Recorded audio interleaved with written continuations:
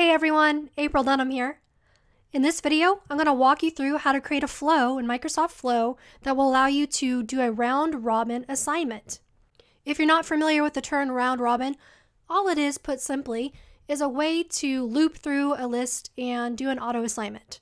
This comes into play a lot if you're using some kind of CRM system like Salesforce, for example, or Dynamics, um, where you want to assign leads or case records to users. So you get a lead in on your website for someone wanting some help, and you want to be able to loop through your sales team members and evenly and automatically assign this task to follow up on the different leads. I'm going to walk through how to make this happen in Flow, but first, here's the intro.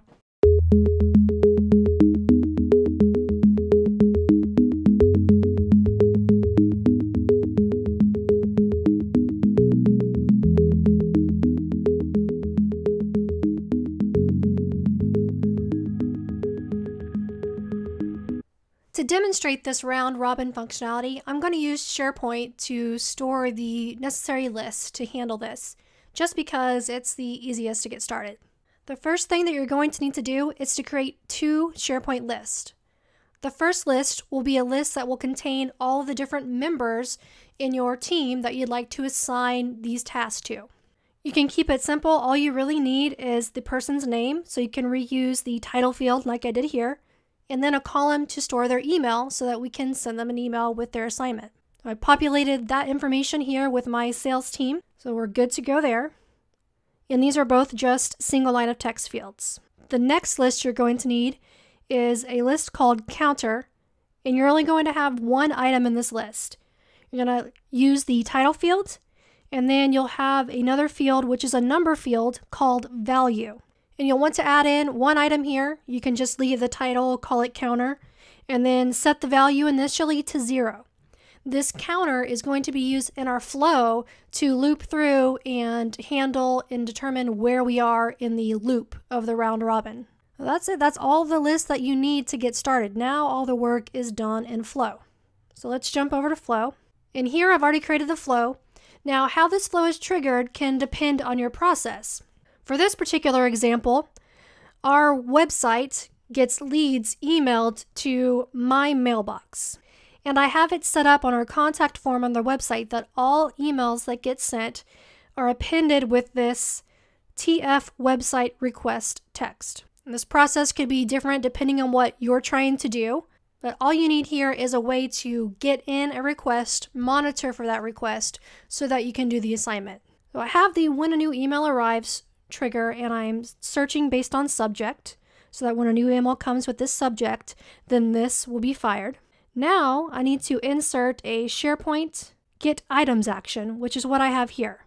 And I'm going to point that to that team members list that I created in SharePoint, which holds my sales staff. Then we need to insert a SharePoint get item singular action and point that to our counter list.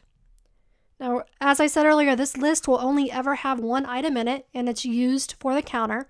So we can point it manually to the item with the ID of 1 and get that information. Next, we need to initialize a few variables that we'll use in this flow. The first one we need is an array type variable where we'll put in the team members that we get from this get team members action. So we're just initializing that at this point. The next, we want to initialize a counter. So the key to getting this round robin stuff working is to have a counter that is going through, starting at zero and appending one each time an email comes in and you need to assign it. So you can initialize an integer variable.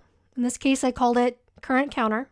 And you just need this simple expression where we convert the value property from our counter list that we got up here to an integer so that we can do some math on that. And that's just done with the int expression. So type in int and then pass in the value that you're wanting to transform into an integer. The final variable that we want to initialize is the next counter. So we're going to need two different counters going on here.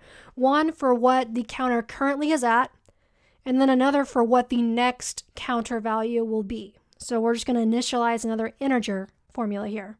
Now that all of that is out of the way, it's time to loop through all of our team members appended into our team member array. So we'll do that with the apply to each. and you'll just set the output to the value of our get team members action. And within this apply to each, we want to go back and append to that team members array we just initialized.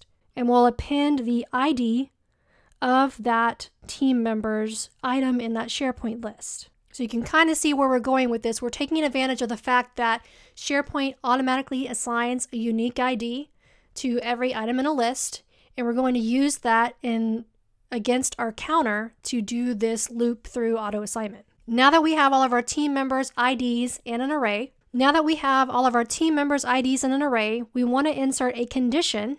And in that condition, we'll want to compare the current counter variable where we set whatever the ID value was in that counters list. And we want to see if that value is greater than or equal to the length of our team members variable. What this is doing is that array, we can get the length, meaning how many items are in there. So if we go back to that SharePoint list here, see we had four team members in there. So the length of that array should be four. We need this check because we only want to count and loop through the total number of team members we have in the list.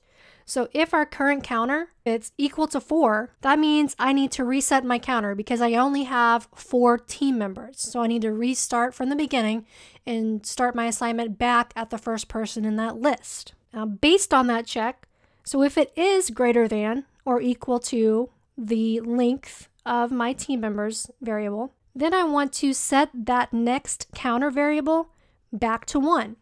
Because like I just said, we need to reset that counter. If it's not, that means I can keep continuing on with my counter. So I want to set my next counter variable to the current counter. Now, in each of these, we'll just insert an update item action and we're going to update our counter. So if my current counter is not equal to the length of the team members variable, then I want to set the value in my counter to the current counter plus one. And we can do that with this expression here, the add expression. Just type in add and then pass in the value that you want to append to. So in this case, it's the value of my get counter action. And then just do a comma and put in the number that you want to add to. So in this case, just one.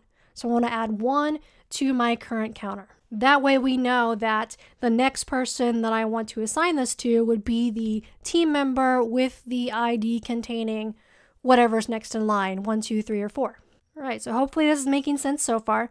So we'll collapse all this condition stuff. So that's set our counter. Now that that counter is automatically incrementing, we need to go fetch the team member whose list ID contains whatever our counter is set to. So we do that with a get item action again, point it to that team members list, and just set the ID to the next counter variable. The next counter variable was just set up above here. So whatever that is, we want to get the corresponding team member. So that's really all there is to it as far as getting the auto assignment, the loop through round robin stuff going.